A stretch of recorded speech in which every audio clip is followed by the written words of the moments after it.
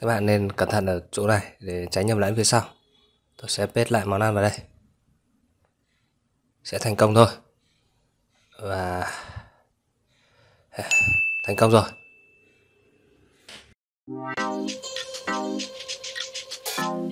Angular Xin chào Việt Nam, chào mừng các bạn đã quay trở lại với khóa học Angular 13 .NET Core 3 SQL Server 2022 Ở bài số 15 này thì chúng ta sẽ thêm một uh, drop down list tên thực đơn ở trong uh, màn hình uh, thêm uh, món ăn. Đầu tiên thì chúng ta sẽ truy cập vào file thêm sửa món ăn component.html và chúng ta sẽ copy code của uh, màn hình uh, thêm sửa thực đơn component.html paste vào đây.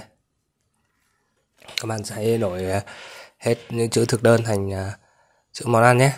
Ờ, trong bài này tôi sẽ tập trung đi vào làm cái drop down list tên thực đơn.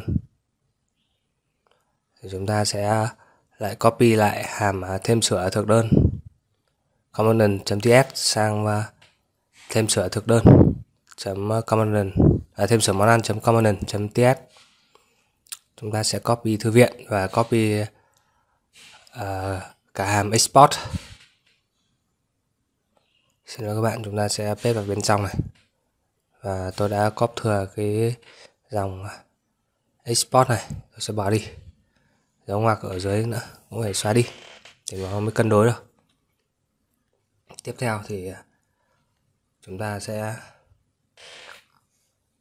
sửa một số, đây, vẫn là cái cũ, chúng ta sẽ sửa html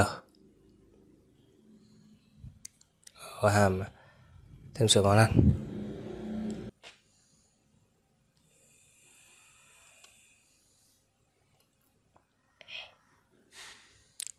đây thì chúng ta sẽ sửa chỗ ở danh sách món ăn. Chúng ta sẽ gọi đến ờ, ờ, uh, app thêm sửa món ăn. Ok. Tôi sẽ tắt bớt uh, các màn hình cho dễ nhìn vẫn ở đây vẫn thì không có gì thay đổi thôi. Chúng ta sẽ mở lại màn hình à, thêm sửa món ăn HTML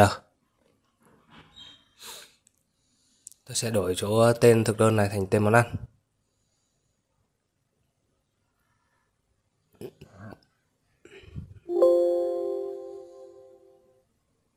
Tiếp đến thì tôi sẽ thêm một uh, input nữa. Một uh, dòng nữa là thực đơn. Chúng ta sẽ chọn thực đơn từ uh, drop drop drop down list thực đơn. Hay có bạn uh, gọi là pull down thực đơn. Ở trên HTML thì chính là thẻ select và thẻ option.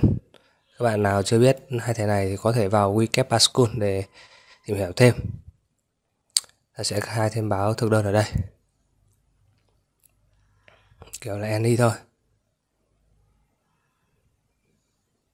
Thì à, thẻ select và option sẽ giúp chúng ta tạo drop down list ở trên HTML tiếp đến thì tôi sẽ comment đoạn oninit kia lại. À, khai báo thêm một mảng là danh sách tên thực đơn kiểu là đi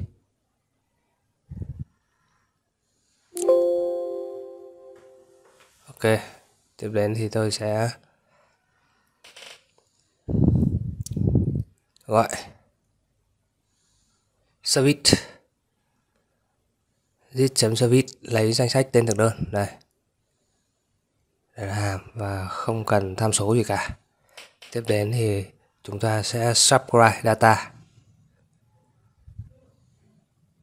Và chúng ta sẽ truyền data này vào biến uh, danh sách tên thực đơn của chúng ta biến mảng của chúng ta.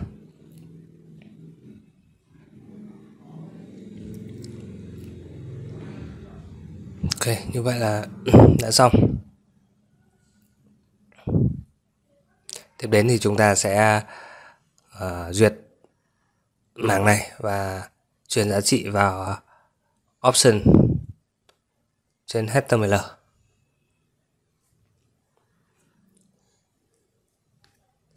Thẻ select sẽ chứa ID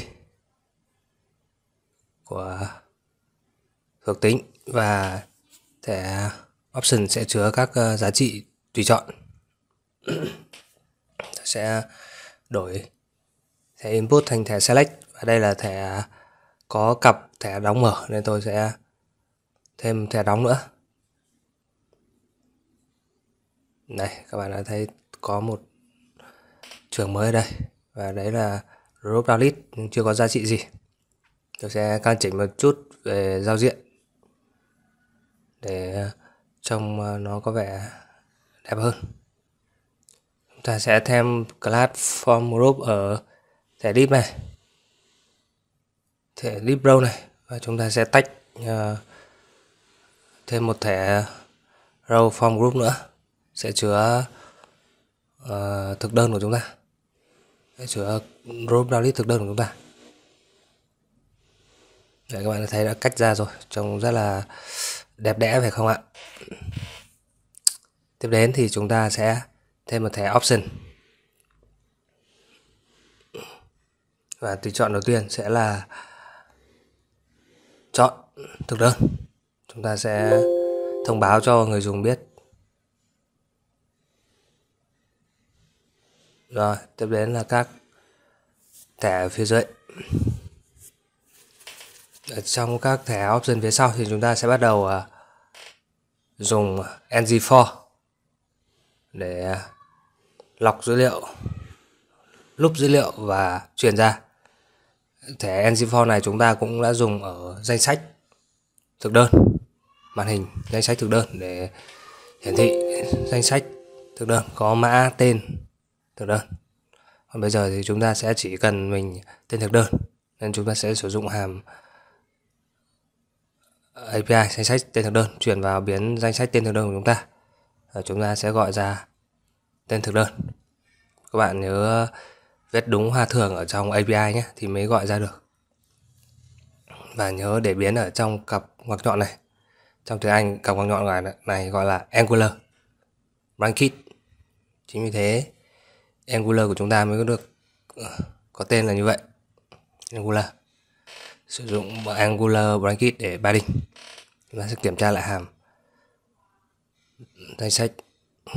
Get all tên thực đơn. Đang lấy ra rồi nhưng mà tại sao không lên được? Mà không biết vì sao không? Để tôi kiểm tra lại à, service ở trong này. Service, xe service đây rồi. Hàm chúng ta là thực đơn, get all tên thực đơn. Còn ở đây là món ăn, get all tên thực đơn. Chúng ta đã viết nhầm API rồi. Các bạn nên cẩn thận ở chỗ này để tránh nhầm lẫn phía sau. Tôi sẽ paste lại món ăn vào đây. Sẽ thành công thôi. Và